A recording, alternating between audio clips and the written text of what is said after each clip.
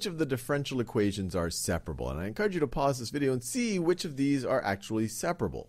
Now, the way that I approach this is I try to solve for the derivative, and if when I solve for the derivative, if I get dy dx is equal to some function of y times some other function of x, then I say, okay, this is separable, because I could rewrite this as I could divide both sides by g of y, and I get 1 over g of y, which is itself a function of y, times dy is equal to h of x dx you would go, go from this first equation to the second equation just by dividing both sides by g of y and multiplying both sides by dx. And then, then it's clear you have a separable equation. You can integrate both sides.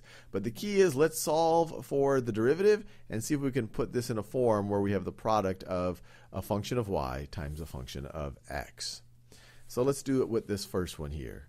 So let's see, if I subtract y from both sides, I'm just trying to solve for the derivative of y with respect to x. I'm going to get x, x times, all right, y prime is the derivative of y with respect to x, is equal to 3 minus y.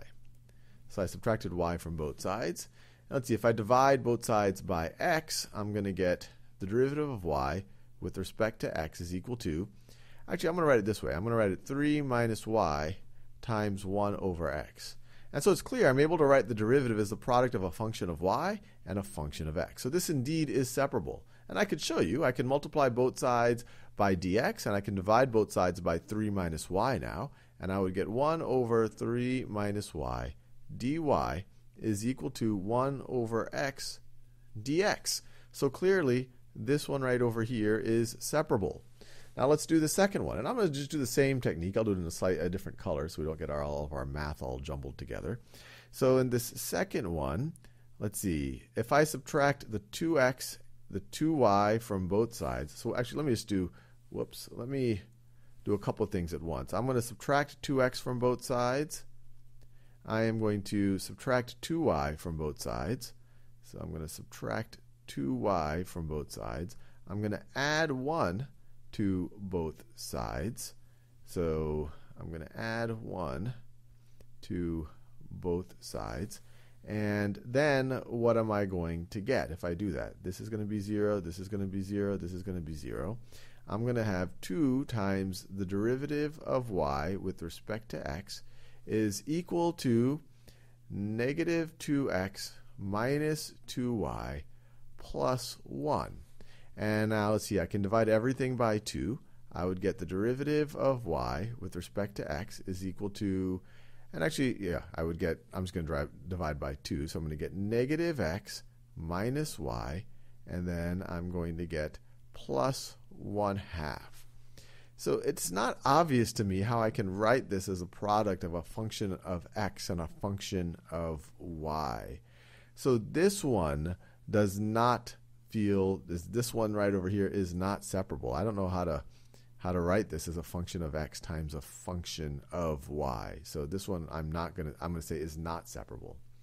Now this one they've already written it for us as a function of x times a function of y. So this one is clearly separable right over here. And if you want me to do the separating, I can rewrite this as well this is dy dx if I multiply both sides by dx and divide both sides by this right over here, I would get 1 over y squared plus y dy is equal to x squared plus x dx. So clearly separable.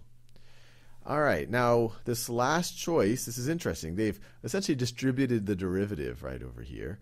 So let's see. If we were to unfactor the derivative, I'm just going to solve for dy dx.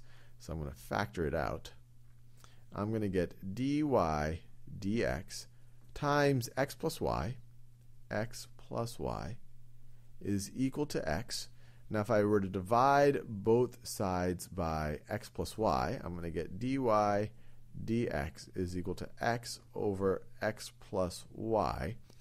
And here, I my algebraic toolkit of how do I separate x and y so I can write this as a function of x times a function of y, not obvious to me here. So this one is not separable. So only the first one and the third one.